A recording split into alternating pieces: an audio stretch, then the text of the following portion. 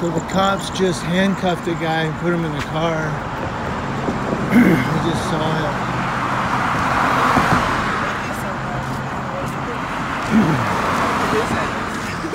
You recording, Sue? making them accountable. So they just arrested this guy. For no reason? I don't know, the traffic stop. I just saw it. They didn't even give him, give him time to, uh, to pull up his name right there. They just pulled him out right away. He was in handcuffs when I drove by. Yeah, I said, let me make sure he doesn't get beat down or nothing.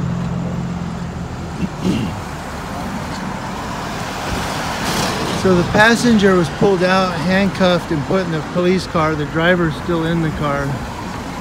So we're gonna stay and make sure they don't pull the driver out and throw him on the ground or anything.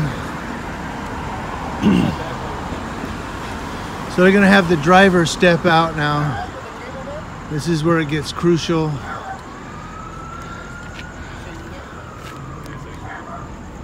I was trying to block that cop light.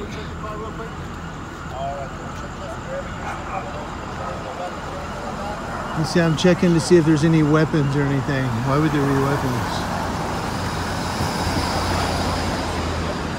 Now, I don't know what the traffic stop was for. He has no front plate. Maybe it could be for no front plate.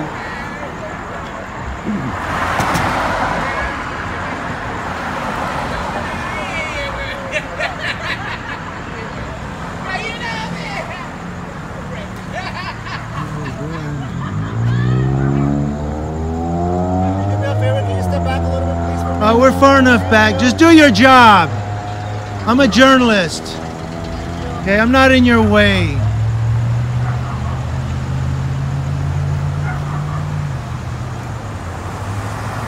See, they want us to go back where we can't film it because if something happens, they don't want it to be on video.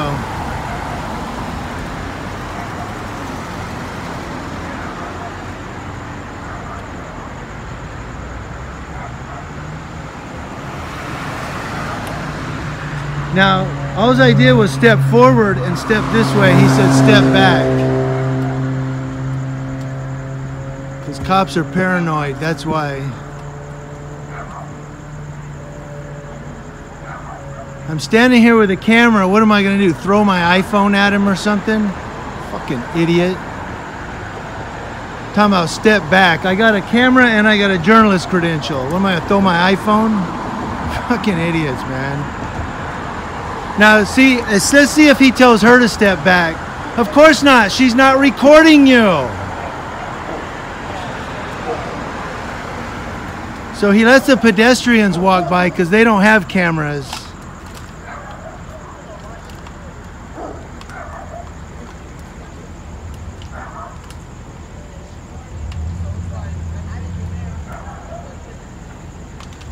But that pisses me off when they let pedestrians walk by, but then the guy with the camera has to back up. Really?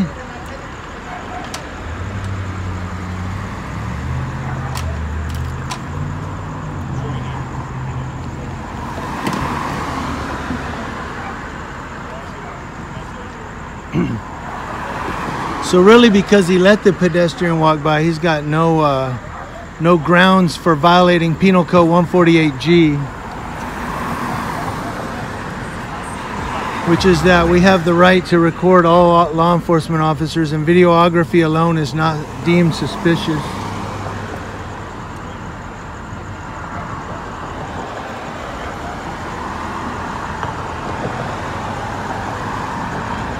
There goes two more. So he told us to step back, but he let the other girl walk by. That gets me. Because she wasn't recording, that's why. Now, after searching this guy and everything, he said, You're all set. So obviously, he didn't have a weapon, right?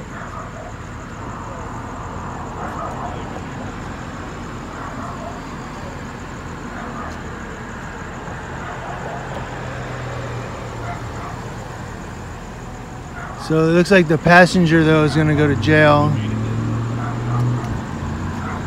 And the reason he wanted me to step back was because right here I can see what this officer's doing and he doesn't want me to see what he's doing. That was the that's the thinking. You have to think like an officer.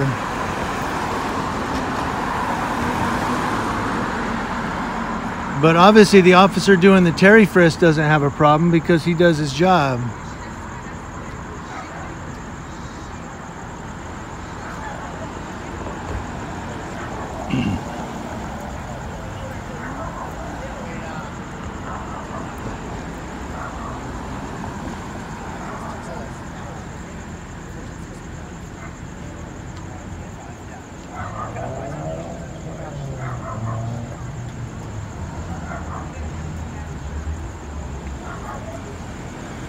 Yeah, they don't. That one cop doesn't want us in a vantage point where we can see what's going on.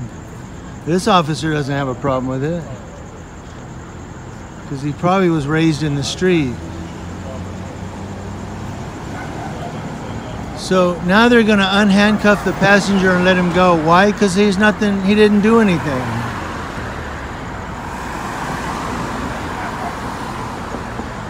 This is why we're out here, folks. This is why we're out here, right here, right now. I don't know if you can see with these flashing lights. I'm narrating for you guys. I hope this you can see. Um, I just came out here with my cell phone. I thought with the lighting I could get a good shot. I probably did, but so he handcuffed the passenger and he's gonna let him go. So obviously he did nothing then, right? He didn't commit any crimes or anything?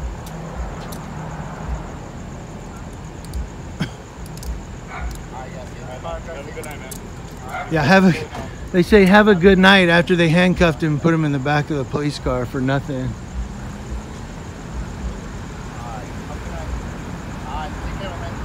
Take care.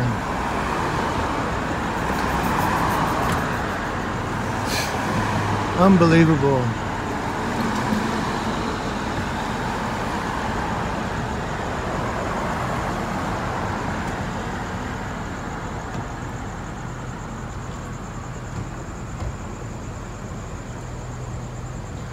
So we're gonna stay for a minute till the cops leave because I don't want them getting back out of their car. Or at least until these gentlemen are gone.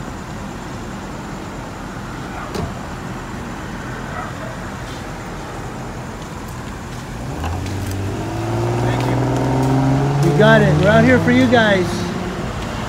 Thank you. Appreciate it.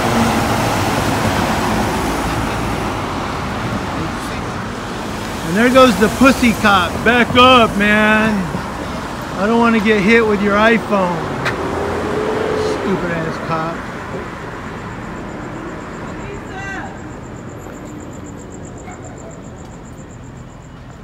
There you go, guys.